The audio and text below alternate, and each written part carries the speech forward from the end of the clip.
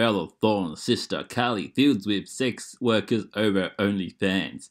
Bella Thorne's older sister Kaili Thorne has come to the former Disney star's defense after she copped intense backlash for joining and subsequently making millions on OnlyFans. Kaili, 28, also sells content on OnlyFans and appears to have joined the X rated subscription site in June, several months before her famous younger sister. Okay, this is getting more exciting. Bella, 22, come under fire over the weekend for earning a record of $2.72 million in just two days selling risque snaps of herself in attempt to normalize sex work and research for a film role.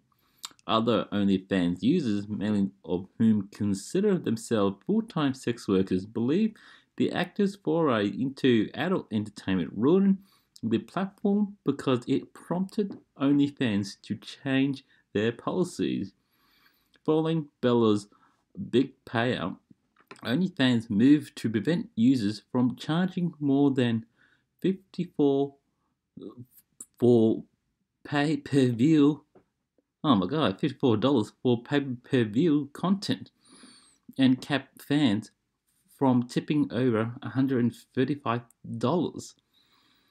Creators would now also be forced to wait 30 days to be paid as opposed to the 7 days it was previously. Oh god, that's a huge um, time to wait.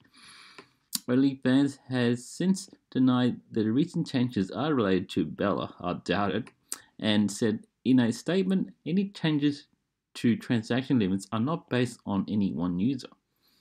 Well, that's quite astonishing, according to OnlyFans. In a Instagram story that's since expired, Kaili took aim at accusation, accusation that her older sister was the catalyst for tighter restriction, which sex workers say have severely impacted their earning potential.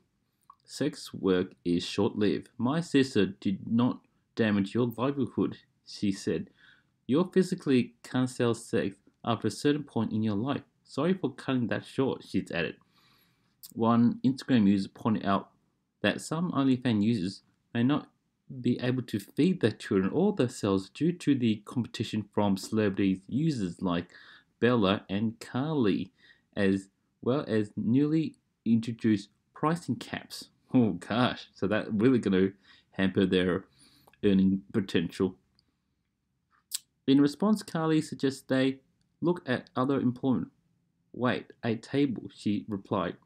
Other user commented, I would like to clarify that what you do is sex work. Saying nude photo online is sex work. If you're telling yourself you're not a sex worker helps you sleep at night and feel less insecure about it, so be it. Kaili's, however, made her point, her opinions on sex work clear to page six, saying, "I'm saying that since sex is not sex work to me, I don't consider it a job to me. I'm not saying it about anyone else.